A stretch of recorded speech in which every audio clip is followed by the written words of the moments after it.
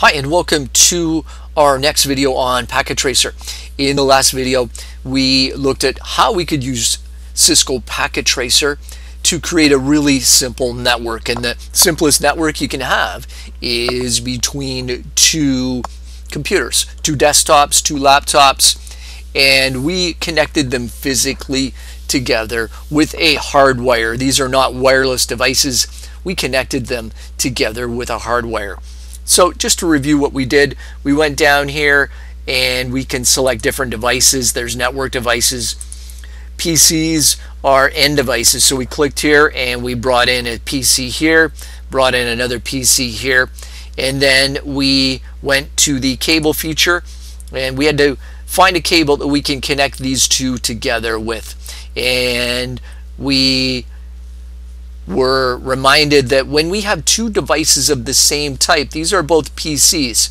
If you're connecting two devices of the same type, we must use a crossover cable. This is a straight through cable. This is what we call a crossover cable. So we have to use that in this case here. Then what we did was we had to go in and assign each device an IP address. An IP address is a logical address, typically based on the location of where that device is located.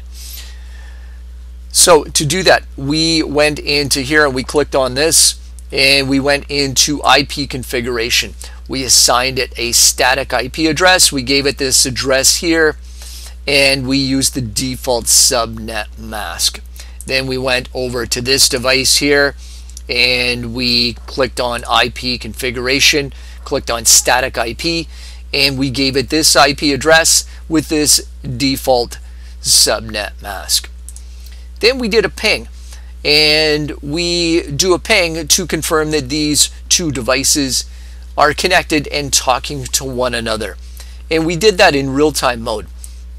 This time we're going to use the simulation mode. So down here in the bottom, I can click on real-time or I can click on simulation.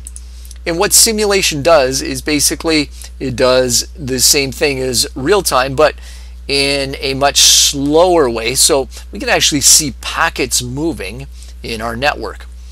Remember that data in networks are sent in groups called packets. Packets are like virtual envelopes filled with data bits or information. Each packet is stamped with the source IP address and the destination IP address.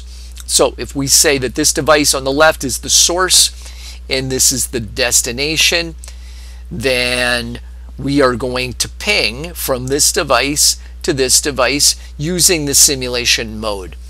So to do that, I'm going to click on this device here and I'm going to go to command prompt and I am going to type ping space 192.168.0.7 and I'm going to hit enter. Now in simulation mode you don't see anything happening right away. We do see what looks like an envelope here which is actually a packet and when I go to simulation mode and I click on this play button you can actually see the packets being sent. So let's do that.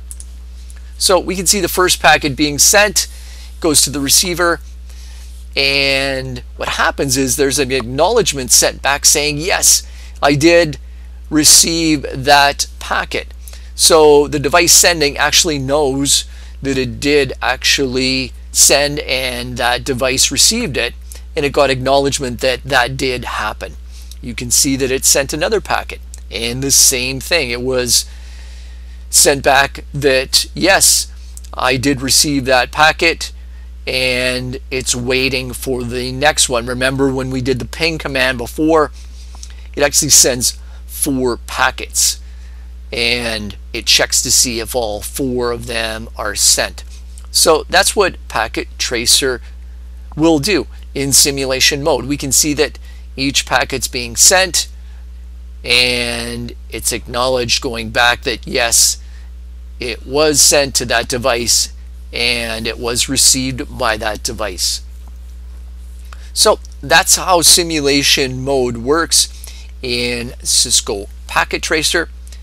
Please take a minute and try it. Make sure it works. And we'll see you in the next video.